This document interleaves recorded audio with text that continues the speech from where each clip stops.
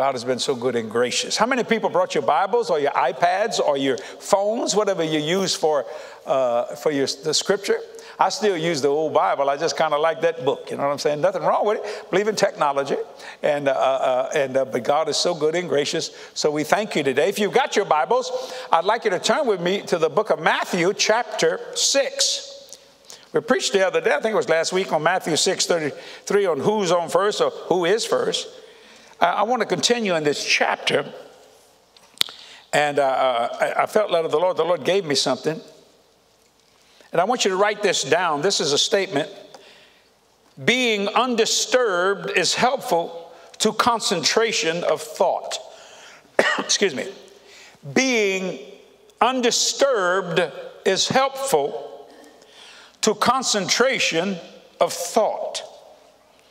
See, and you've heard me say it many times preaching should never supersede thought, it should make you think. So, being undisturbed is helpful to concentration of thought so that you have your faculties in every area of your life. Jesus is talking here in Matthew chapter 6. I think I'm going to start with verse 1 and then I'm going to read on down to verse 6. Jesus said, Take heed that you do not your alms before men to be seen of them, otherwise, you have no reward of your Father which is in heaven. Therefore, when thou doest thy alms, do not sound a trumpet before thee, as the hypocrites do in the synagogues and in the streets, that they may have glory of men. Verily I say unto you, they have their reward. Verse 3. But when thou doest alms, let not thy left hand know what thy right hand doeth. That doesn't mean you can't tell people what you've given. This is talking about alms. This is helping the poor here. See, uh, you know, a lot of people want recognition. You know, I do a lot of things, and they say, "Man, you ought to, you ought to tell people." No, I'm not doing that because of the scripture. That doesn't mean you can't tell people that you what you're giving. See what I'm saying? But when you're dealing with the poor, you should protect their dignity. You see what I'm trying to say? So if I give to a food bank, you'll never know about it.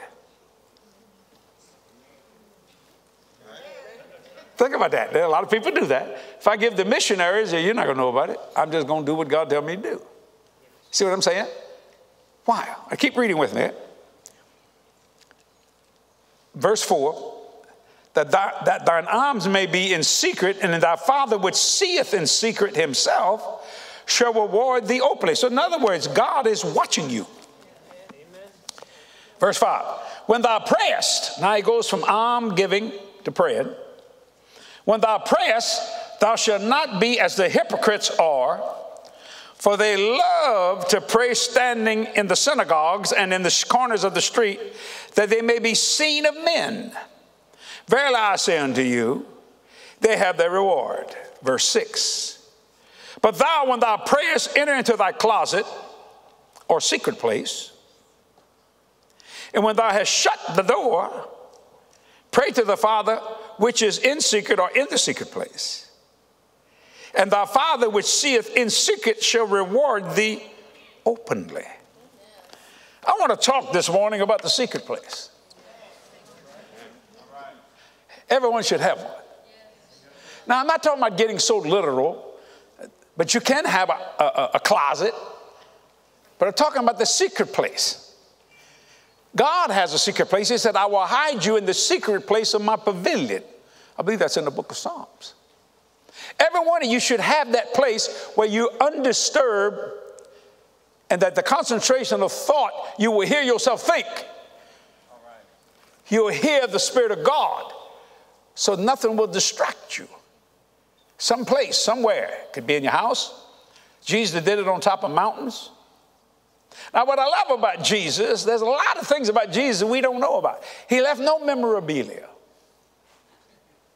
Think about that. None. But wouldn't you like to know what his mother was like as, he, as he, she was raising him? When did he become aware of the message and the calling that he was the Son of God, even though he said he was the Son of Man? We'd like to know those things. Some people some people write biographies about themselves, which is great. Some won't do that, so other people do it. So you can know some things. There's a lot of things that Jesus kept very secret. Yet you could open up his heart real quick. A child could open up his heart. Someone that repented would open up his heart and he would speak things about himself and about what God, his father, would do. He was very susceptible to people who loved him and reached out to him and we open up secret things. I want to talk about the secret place. Enter in. So write this down. The secret place is made to close off the spirit from all distractions. The secret place is made, or the closet, call it what you want, to close off the spirit from all distractions so you can feel alone with God. There's a reason for that. Jesus honored that. And the Bible said, go, He said, I only say what my Father says, and I only do what my Father says to do. Now, how did He know that? Because He'd go to the secret place. Even though He was totally tired in His body, preach all day, and then He would tell the disciples, Y'all go ahead and get a place, and He'd send the multitude home. And instead of going to his disciples, he'd go up the mountain and pray. Might pray all night to the secret place. Could be under a tree. Could have been a chapel in his house. Could have been whatever. And even though he prayed all night and preached all day before, he would be at the synagogue the next morning because he was a churchgoer. Now, the reason for that is just what I said the secret place is made to close the spirit from all this, close spirit off from all distraction. So you feel alone with God because then it's just you and God. Two of you agree. You begin to hear the voice of the Lord. Because you see, he will speak through your spirit through a renewed mind, which, which is the soul of man, uh, mind, will, and emotion, to a crucified body. Everyone should have it. I have a chapel in my home. I find a lot of times people buy these big, huge homes in England and in France and everything, and they start uh, refurbishing them. And I've heard people say this this used to be a chapel, I'm changing it into a sitting room. That was someone's secret place where they could go before God without any distraction, talk spirit to spirit, because God is spirit. You worship Him in spirit and in truth. Yes, Write this down. In the secret place, we become aware of the value of things which we often overlooked. See, when you go in and talk with God spirit to spirit, you become aware. So the secret places were made for awareness, you and God. In the secret place, we become aware of the value of things which we often overlook. Even in the secret place, you can become aware of just how beautiful this planet is, how beautiful flowers are, because you become aware. See, and it can be spiritual, physical, and financial. Like when we have a guest speaker, we say, as we therefore have opportunity, let us do good to all, especially to those or of the household of faith. Why? Because we become aware that God has sent someone to speak a word to us. So it's more than a church thing, it's a closing off of distraction to your spirit so God can speak to you. And sometimes He just want to talk. He may not give you any direction. He knows you're going to be guided by the Spirit of truth anyway. He just wants to kind of hang out with you, for lack of a better way to say it. So, in the secret place, we become aware of the value of things which we often overlook. It's amazing how many things He's created that we overlook. Flowers. If you ever seen some of these rose petals, some of these flowers under a microscope, you'd be amazed the workmanship of God's hands. But we overlook some of those things. See, because we haven't closed ourselves off. So the world, we're being, we're absorbing the world around us, yet we're overlooking the, really the best things that are around us. Write this down. In the secret place, you find out what you should be grateful for. In the secret place, you find out what you should be grateful for. Your message is shaped in your mind when you find out what you're grateful for. What are you grateful about? You know, when I was building this building, I was so honored that God would choose me to build a building. Why would you choose me? I know I, I can't even nail a nail straight. I'm not mechanical. I can't fix it. Cathy is way more mechanical than I am. Sometimes I used to tell her a lot of times, I'd give her a screwdriver, go fix my Harley. You know, she could figure it out. That is amazing to me. If something went wrong, Jesse, don't put your hand on it, you're going to break it more. Let me have it. and she could do it. I was grateful that she was a mechanic. See what I'm saying? You find out just how valuable someone is. And sad to say, some people don't know what they have till they lose it. Boy, you don't want to, you don't want to learn about it after you lost it. So in the secret place, you find out wh- what you should be grateful for. Your message is shaped in your mind, which is in the soulless realm. It's because the spirit sends it to the soul, it's shaped in your mind. Then you're able to implement what God has spoken to you. That's why a lot of people don't understand the things of God because they never go to the secret place to talk to one on one. They're so distracted about all the other things. I'm not distracted about this hurricanes. I don't deny them. I'm not stupid. I don't deny them. But I, what am I attracted to? The bloodline, pleading the blood. And like I, I, was telling Kevin in the back of Walker, I, have had people say, Brother, suppose all this place was destroyed, what would you do? Rebuild it. I build it again. That ain't the issue. Now, I don't like to pay for the same real estate twice, and I certainly ain't believing for it. I'm not going to do what they tell me. You know, prepare for one stronger, your mama. I ain't doing that. That's craziness. It's kind of like prepare yourself for, uh, uh, you, you got an abscess, but prepare yourself for cancer. No, no, I'm not going to do that. You see what I'm saying?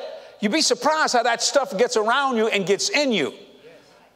Which is my next point. Beware of the cares that try to absorb you. They try to absorb you so you, you can't hardly think any other way. That is what's happened with this pandemic. We've become so absorbed that sometimes we ain't thinking straight. How can you expect someone to complete their business and only have 25% business when they need every dollar that's coming into that business? Which affects people. And the people telling you that, they're not, they're getting their money, so it's easy for them to say it. I'm not being critical here, I'm just being truthful. You become so absorbed with the problem that you cannot see the answer. Why? Because you hadn't been in the secret place. Where's your closet?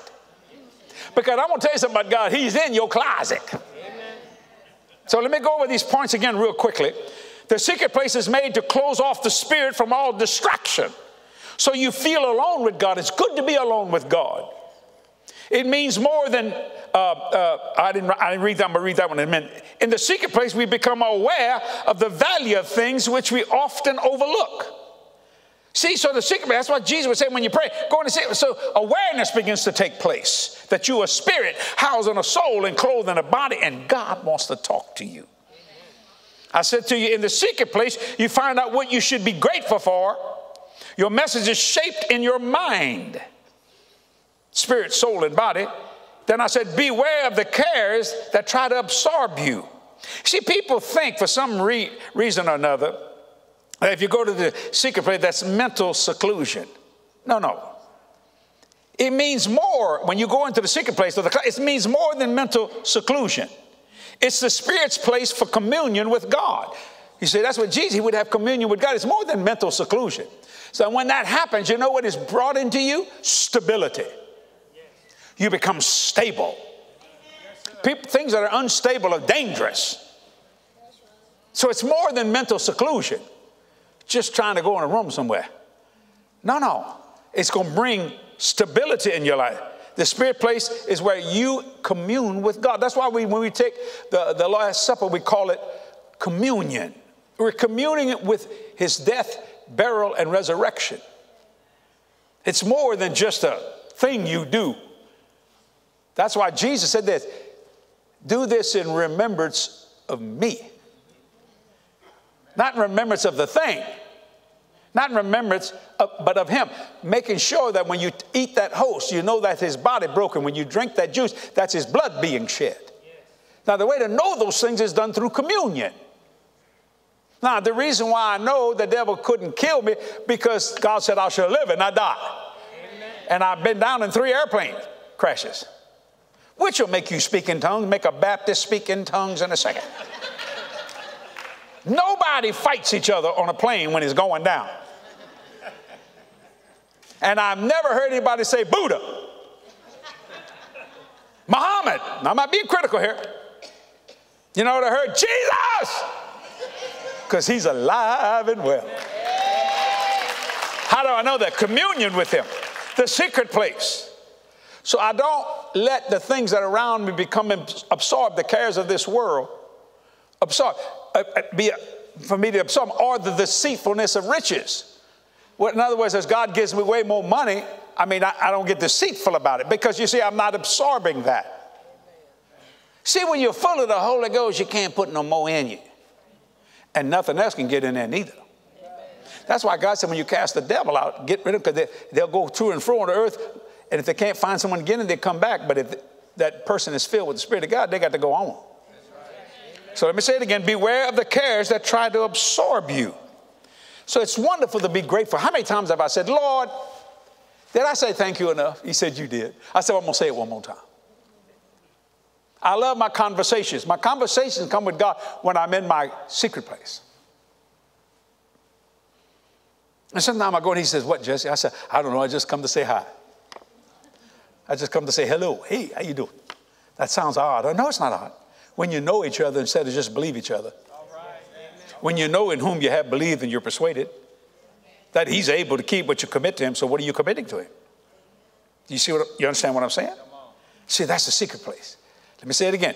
Being undisturbed is helpful to concentration of thought because now the only voice I'm going to hear is His.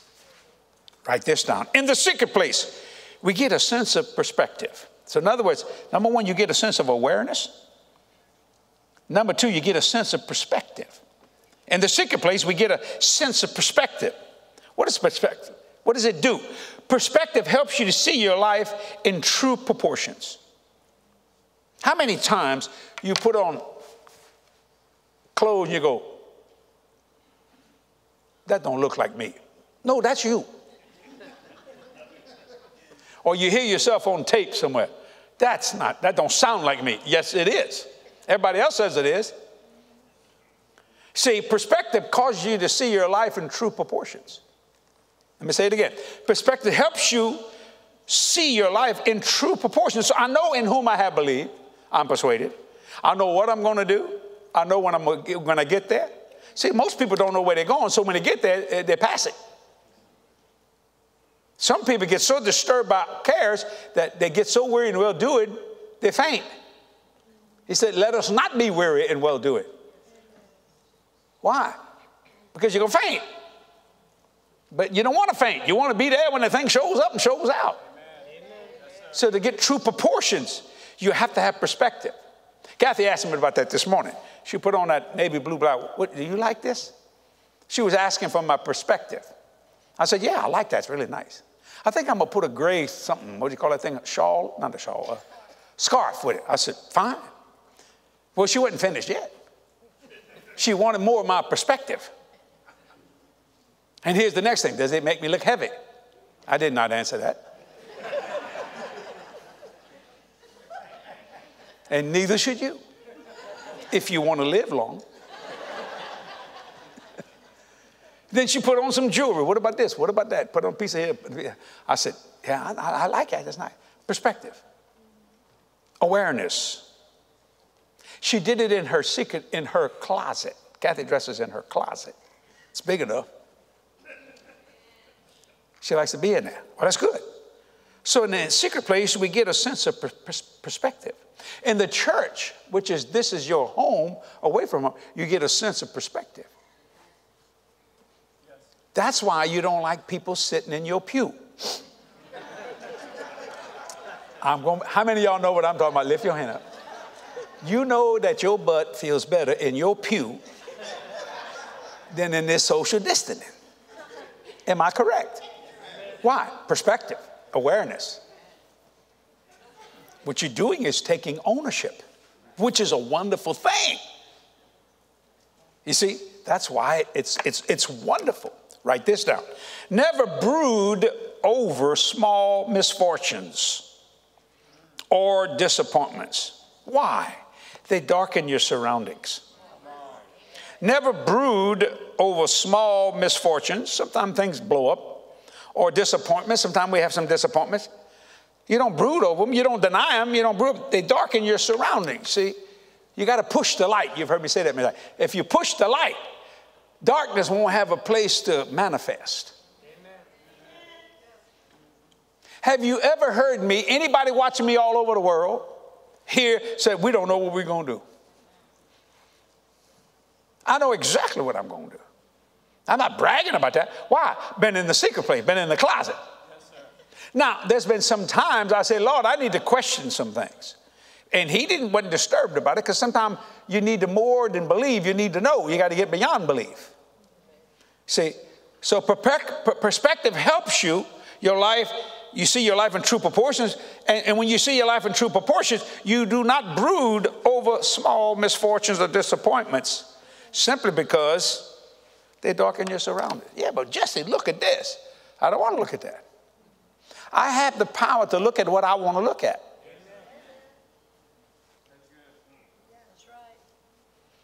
It all has to do with what I want to do. It all has to do with what you want to do. Like Cathy the other day, she said, Listen, Jesse, I want to go home. She said, I, I, I ordered something. I want to go get it now. I said, well, can we, can we, we're going to go out this afternoon late and we're going to grab a bite to eat. We get, no, no, I want to go now. So she gave me a prophecy take a nap which I received. So I went to one of my favorite chairs, and, I, did, and she went get whatever she was, whatever she ordered, I don't know. I didn't know, it, it turned out to be some glasses, I think. I think the ones he has on. Wait, so I said, she said, you like these glasses? Looking for perspective, awareness. I said, yeah. I said, they're prescription, right? Yeah. I said, she said, they're uh, designer frames, is that what you say? Some kind of frame thing? which means there's more money than I thought. but I don't need to worry about it because she takes care of all that. You see, so I'm not going to brood over my misfortune. I ain't going to tell you how much. But why? Because she'll darken my surroundings. I know how to preach a point, ladies and gentlemen. You understand? I know how to get your attention. Yeah. The other day, uh, we went eat at PF Chang's with Kevin and Kathy that I. They're great friends, spiritual sons and daughters, got great ministry. You know, we've been on diets, really watching ourselves. And Kevin, he ordered some combination fried rice with extra white onions and broccoli. He, he got to make it different. And he's sitting there eating. I said, Lord, tell him to give me a piece of that meat he did not obey. But I did not brood over my misfortune. Oh, my disappointment. But if I said it, he went, oh yeah, but take what you want. Actually, I didn't need to ask. It's saying, well, just take what you want. So I just, I don't ask Cathy. I just reach over with my fork and get some. And she says, I was going to eat that. I said, well, don't brood over your misfortune. I'll order you another order. Oh, then I'm gonna eat too much. I said, Ma, you can't, you can't win for losing here. So, but so many people brood over those things. And it darkens the surroundings. Write this down. Your life must be reviewed under the light of God. That takes time and patience. Your life must be reviewed under the light of God. That takes time and patience. That's why you go to this secret place. He said, when you get in your closet, what God sees, you got to remember, God's in there waiting on to talk to you. Yes. See, why? Why does God do? Because He don't want distractions. He wants to hear 100% of what you got to say. Isn't that wonderful? He's so interested in you because you're his child. Think about that. See, so it's more than just praying. It's more than just relationship. It's fellowship. Now you're doing something. God, I'm cutting out. That's what fasting's all about. It's not just so you can starve. You just shut down the natural generator and turn on the spiritual generator. Even Apostle Paul talked about uh, physical things, you know, in married life. In other words, sometimes you have to separate yourself from your wife or your husband, you know, so y'all don't get together and fast and pray. In other words, he wants your undivided attention. Cathy wants my undivided attention sometimes. See, what she doesn't know, I hear everything she says. And a lot of times while she's talking, I'm thinking, she said, Are you listening to me? Yes, you want me to repeat it? That makes her mad. No. I said, I can repeat it word for word. I heard it all. Well, look at me when, uh, well, sometimes when, if you ever notice most people when they start thinking about something, they'll do this. She don't like that. My mind gets to thinking, so, uh, you know, I'll look off somewhere. She wants that undivided attention. Your life must be reviewed under the light of God. This takes time and patience. Now, who don't want it yesterday? Everybody wants it yesterday. My God. We're Americans. We like fast food. We like it all fast. We, we, we actually save slow and spend fast. We like it fast. Just burn it all. That was one thing I always did when I went on vacations was spend all I brought. I wasn't going to save it to pay a bill. I used to go with my brother-in-law, uh, Deborah and Jules. These were when the kids were little, and I would be little Jules and uh, Ryan and uh, Julie and um, of course Jody. They were little girl, little, little kids, you know. And they loved. They said we want to go with Uncle Jesse, because as soon as we got in that van, like we might go to Destin, I turned around and said, "Okay, where are we going to stop and eat at?" Well, it's not ready. It, it, it, ain't, we ain't ready for lunch yet. I said, no, I'm talking ice cream and cake and, and candy. Oh. They'd say, pull over. By the time I got them the Destin, they were on sugar highs.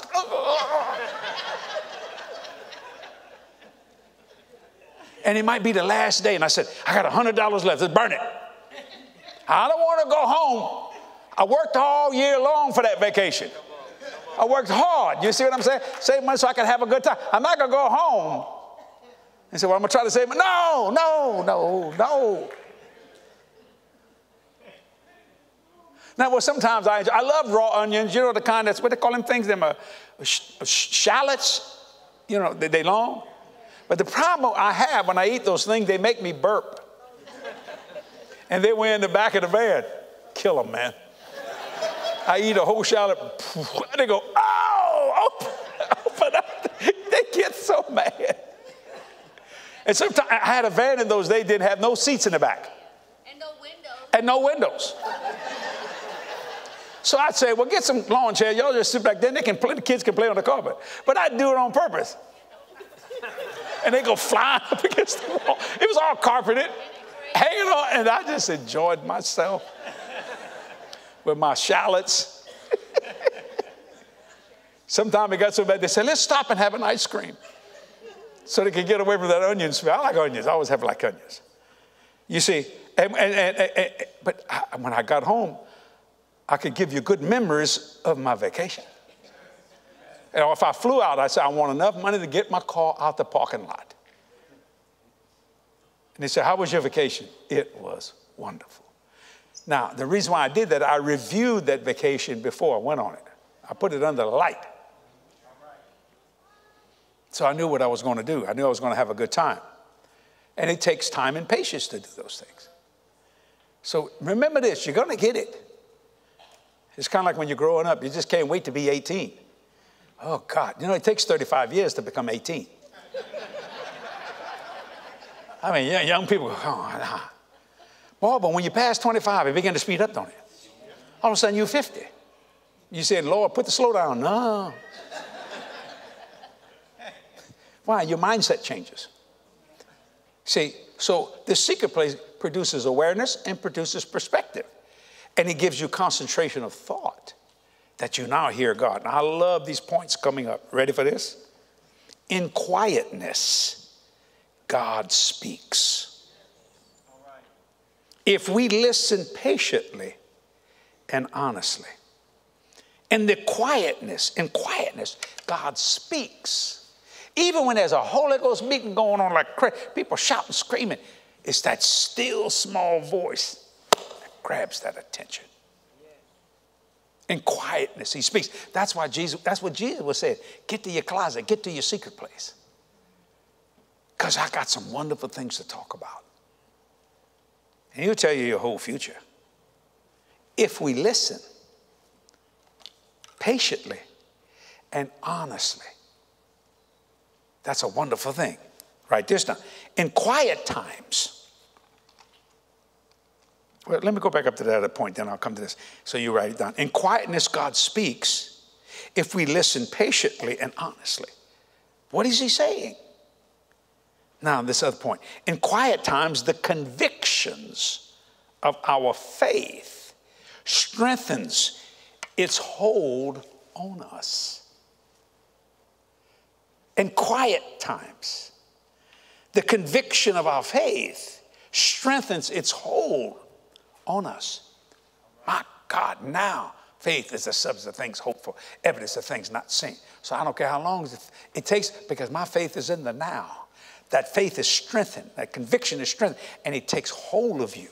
That all you can think about is that faith, that thread of the fabric of God clothes that clothes you. It strengthens. I love that. It's hold on you. I've had people say, Well, but Jesse, you're so strong on it. Well, I've been in the quiet times. I've been in the quiet places. And what it did, it strengthened my conviction more. And it, it holds me more. So when I see something uh, that I don't want to see, like hurricanes and stuff like that, instead of going, oh my God, oh my God. And I mean, I mean, it's terrible what's happening in Lake Charles, and things like that. But I remember in, uh, when Hurricane Audrey hit Cameron. Anybody remember that? Over 400 people died. Yeah. Oh, it was terrible. I remember Hurricane Betsy, 1965, coming up the mouth of the Mississippi River. Hurricane Camille, 1969.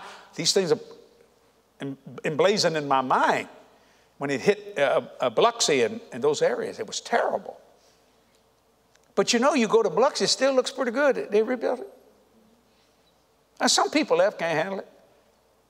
And, and that's okay. You can, you can move. That's not the issue. You got to go where you feel God wants you to go, where you feel peace at. But if you're running from trouble, it's going to follow you.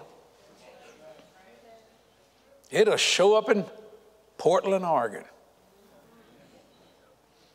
It'll show up in the craziest place you ever thought. See, but if you defeat it, having done all the stand, stand therefore. It'll get away from you instead of getting close to you. So, in the secret place, God has an opportunity, or in the secret place, God has an opportunity to become real to us. Think about that. So, there you have awareness, perspective, opportunity. In the secret place, God has an opportunity to become real to us. Is God real to you? Or is your religion real? I'm Baptist, I'm Methodist, I'm Episcopalian, I'm Presbyterian, I'm Pentecostal. Ooh, I'm charismatic. Where's God and all this stuff? Has God become real to you? You know how you know when He's real? When everything's going wrong, not when everything's going right. Anybody can talk faith when you got a pocket full of money is when, oh my God, how are we going to do this?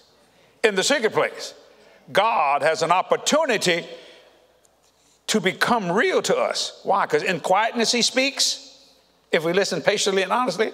In quiet times, the convictions of our faith strengthens its hold on us. I got to stay on that for a minute. See, I know so much about it that I have a hard time getting sick. When you saw me sick, Betty, you've been knowing me a long time, huh? Since we kids? What, 13, 14, maybe even earlier than that, I guess. Oh, Lord Jesus. Is it because I'm better than you? No, it's just that what happened is in those secret places, that faith, man, those convictions of it strengthens and holds me more. I mean, I don't like disappointments. I don't like misfortunes. I've had some, but I don't brood over them. You ever notice a lot of preachers always preach the bad stuff that happened to them? You ever heard of testimonies? Anybody got a good one? Yeah, the devil been beating my brains out. Always shut up. I don't want to hear all that. Then right at the end, but the Lord. So you gave Satan all his glory, and finally you said, and God. I remember one time I went preaching Jennings, Louisiana. Me and Cathy and Meredith. No, Meredith, my, my, my grandbaby. Jodi. Jodi was little. What, uh, five, six, something like that? When I got there, I said, uh, Do y'all have evangelistic quarters? Yes. Oh, I said, because we know, thought we were going to get a hotel. The evangelistic quarters was a Sunday school room. He said, You and Sister Cathy, your daughter can sleep on the floor. Am I right? I've slept on the floor before. Me and my brother, we slept in an eight foot wide, 32 foot trailer on the floor.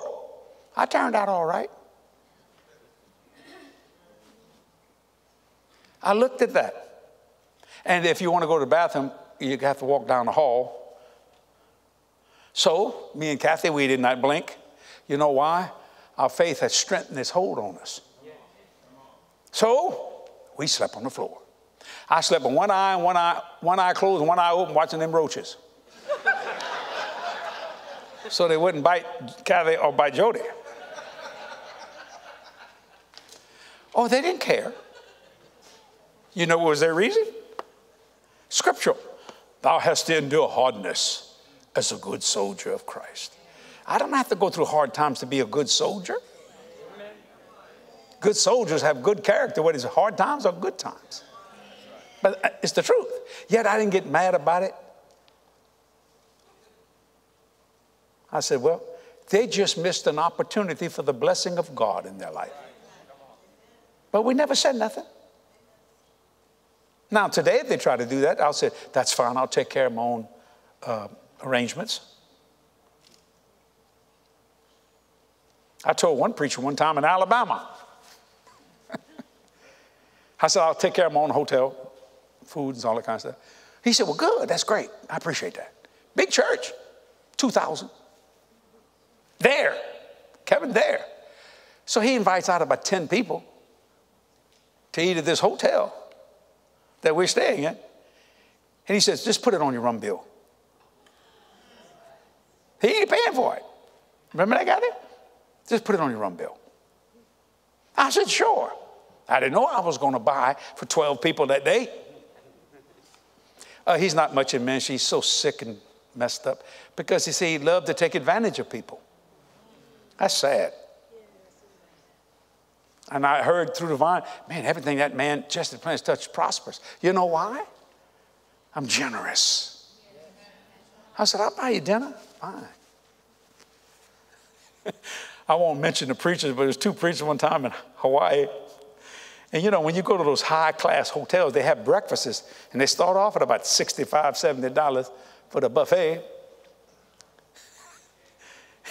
and they're sitting there eating, and one of the preachers says, You know, if we go to Denny's, we can get this same breakfast for six, $7.95. And the other preacher said, Go. Trying to save money on a vacation. Well, there's nothing wrong with that. My God, you worked all. Why don't you just enjoy what the Lord has placed in your hand? Amen.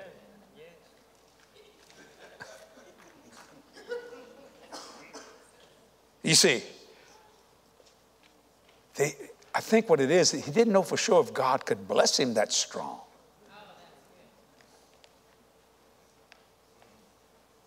And you don't know that till the test comes anyway. But it doesn't make any difference if you're not moved by what you see. You move by what you believe in. That's what I do. I'm not moved by what I see. I don't deny it. Because you see, because I've been in the secret place. I've had my ministry in my life under the light of God. Whoo, Lord. And I, have I, I've paid the price for patience. Yeah. I did. I paid the I said, let patience have its perfect work. And I paid the price of time. I, it's not that I didn't want it yesterday. That's not the issue. But I still got it. Amen. Let me say this here.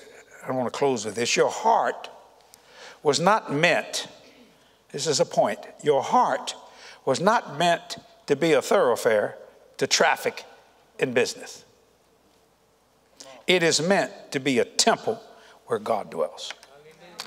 But a lot of people Their heart is, uh, it's become, uh, what's the word, a thoroughfare to traffic in business. I had a great preacher, someone know who I, he'd say, uh, you need to learn to play golf. I don't like golf. I mean, golf's not a game, you know, but I, I, they say it relaxes, not me. It don't, um, in fact, I don't even speak in English. There's other words I say, I, can't, I, can't. I said, this game will send me to hell. I, gotta get, I can't play this game. But his, his reason was, Jesse, people love you. I said, well, thank you. You need to learn to play golf. Man, you can, you can get a lot of partners playing golf. I don't want to get around people just for me just to try to get their money. But see, you become so callous to that that uh, it'll help the ministry. Ah. So you use a little deception. You're not there to, to enjoy that person. You're there to say, well, maybe. Now, you don't, that, uh, would you like that?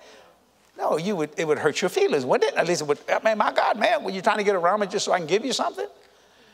I don't mind giving you something. That's not the issue. But the point, it would be wrong. See, that person's heart is at that on this particular thing became a thoroughfare to traffic in business. My partners come because God speaks to them. And I tell people where monies are going. I, am very open about those kind of things. And uh, I don't ask people to do something I don't do myself. If I ask you to give, I give myself. I've had people say, You don't need to do that, brother Jesse. You've given your life. We've all given our lives to the Lord, for God's sake. Touch not God's anointing and do his prophet no harm, but we're all anointed if you're born again. Come on, talk to me, Jesus. Yeah. That doesn't mean you special. You could be in the executive branch of God's government, the apostle, the prophet, the evangelist, the pastor, the teacher. But what you should be, if you're in that five-fold measure, is be more of a servant, be more of a blessing, instead of so, you know, acting like the mafia, kiss my ring. You know what I'm saying? Let me say it again. Your heart was not meant to be a thoroughfare to traffic in business. And I, am a businessman. I believe in business. Don't misunderstand me. This is when I'm going into the secret place, the closet. It is meant to be a temple where God dwells. I, oh, how can I say this? I've had God get excited because I was going to the closet. What? I, I God said, my boy is coming. Well, how many times, man? My grandmother, when they were alive, both of them, They'd be standing outside on the steps waiting for us, the grandkids, to come. Just waiting to see us. My grandpa's wasn't, but the grandmas were.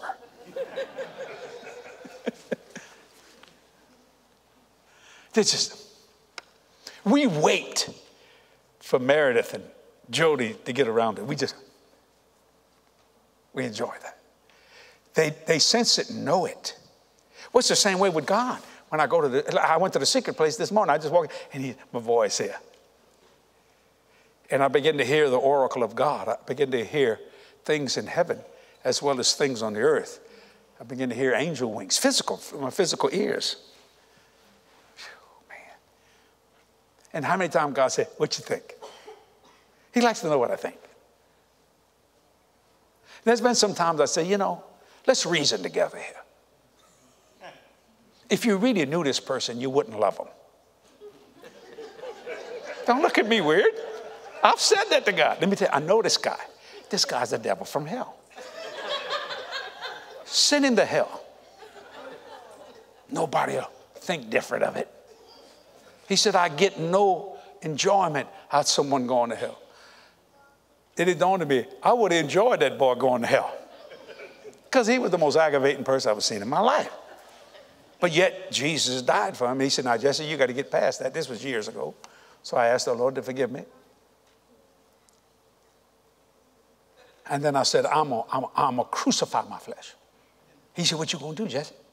I said, I'm going to invite him to dinner. All right. All right. You're going to you're to invite him to dinner? I said, I'm, a, I'm a, I ain't talking McDonald's. Nothing wrong with McDonald's. I just I said, I'm going I'm I'm to crucify me. I learned to do those things. And I found all that in the secret place. Because God speaks when it's quiet, the still small voice. See what I'm saying? How many times when someone shared something and I'm about ready to receive an offering. And the Lord would just kind of pass by, like I'm passing by y'all on the front row, and says, You could do that. Just a very small. You could do that. I said, Well, if I did, then no one else would get the blessing. He said, No, that would be the overflow. Yes, sir, I'm yours to command, Jesus. I ain't gonna tell anybody something like that. Took care of it. Now they had extra so they could do other things they never thought they would, would run into. You know, you know how things are. Then there's been times I went, I'm generous. I got a generous heart. I walk up and say, I'm gonna be a blessing. And the Lord said, Don't do that. If you do, Jesse, you're stopping my discipline. Now that really struck me when the Lord said that. Discipline.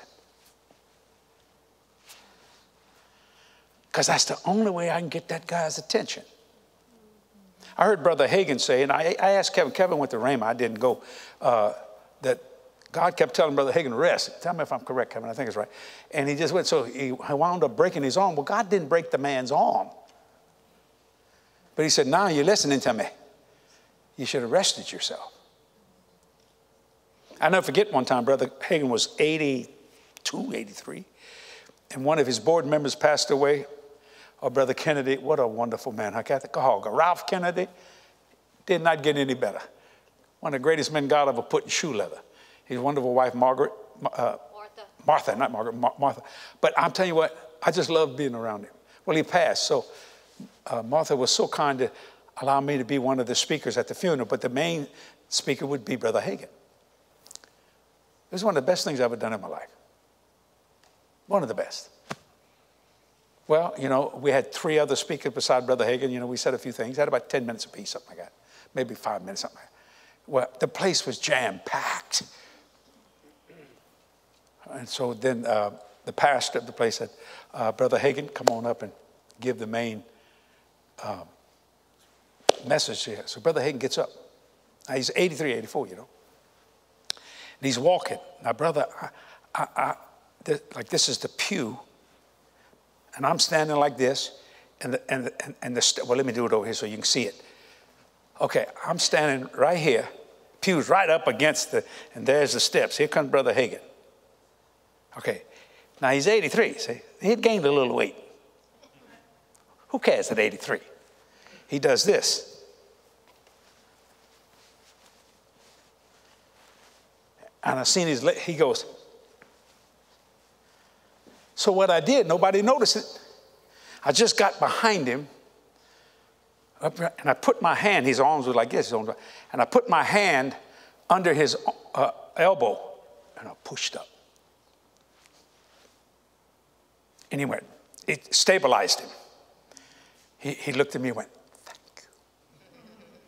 I said, You're welcome. It was one of the best things I ever did in my life. It felt so great. Just held him. He got and preached a marvelous message. When he came down, he looked at me, and I knew what to do. I just got a little close as he come down, you know.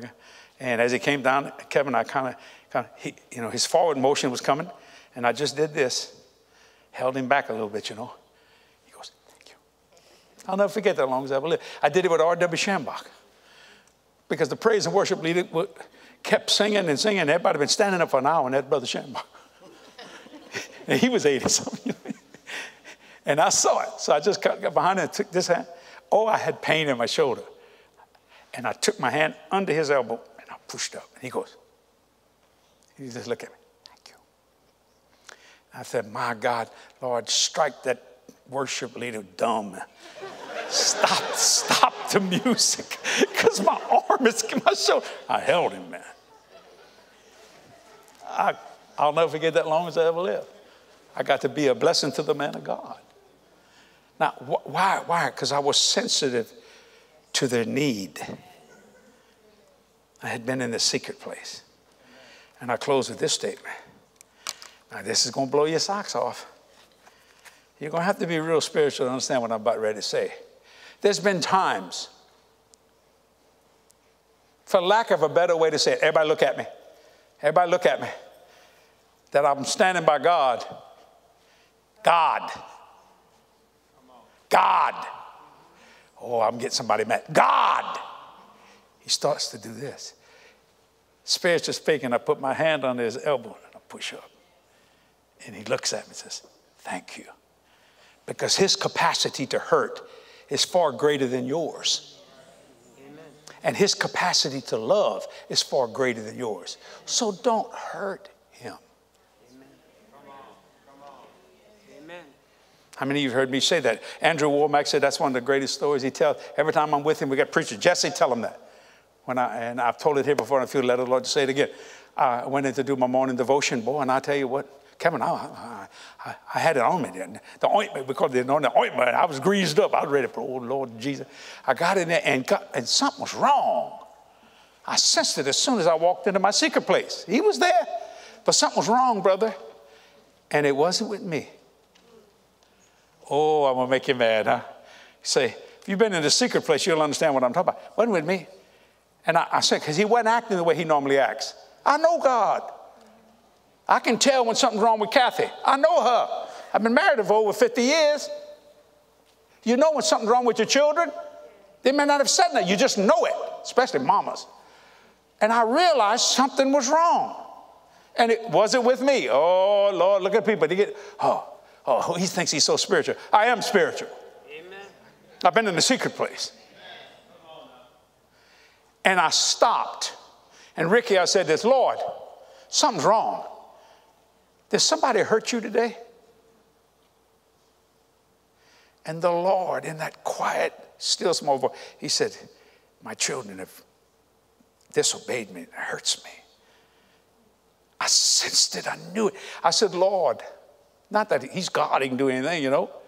I said, Lord, I'm going to cancel all my appointments today. And I had a bunch of them, Ricky. I had a bunch of them that day. I said, I'm going to stay in this, my secret place I said, I don't know how to say this to God of everything, but, but best way I can say it in my mind is, so, for lack of, lack of a better way of saying it, so you feel better. Till you feel better. Now, that, that didn't even come up to what I was trying, to, but it's the only way I could think, you know. And man, I prayed and I worshiped the Lord. And I stayed there, and it must have been maybe 10 minutes. All of a sudden, I heard the Lord go, Thank you, Jesse. You refreshed me. That's the secret place. That's what you find out. That's when Jesus said, when you go in your closet. In other words, don't give his time away. Because the most important thing you can do is spend time with him and allow God to be the God he truly is. You see what I'm saying? Did you understand the analogy? Because his capacity to love is far greater than mine. But then the other side of that coin, God's capacity to hurt is far greater. Can you hear some of his some of his statements in the Old Testament? He said, Israel went a whoring. That's the word he used. Went a whoring with other gods. Have you, have you had one of your spouses, your spouse commit adultery on you? How that hurts? Drive a knife right through you? God said that. A whoring. Ooh, that's hard. But people don't think, oh, that's God. Eh? No. His ability to love is, he's agape. I mean, he's so far beyond that. But his ability to hurt is the same thing also. He's a God of great feeling. But you won't know much about that until you get in the secret place. Right. Yes, How many of you are going to form your secret place? Amen. Hold your hand up. Come on. Do that. Do that at times. Find your place. Don't get too literal on the, the place. You can, but spend that time. And watch God do unbelievable, impossible things simply because it's doable. And maybe one day you'll hear this You refreshed me. You enjoyed it today? Amen. Give Jesus a hand clap for that. The secret place. Ooh, I like that. Sermon.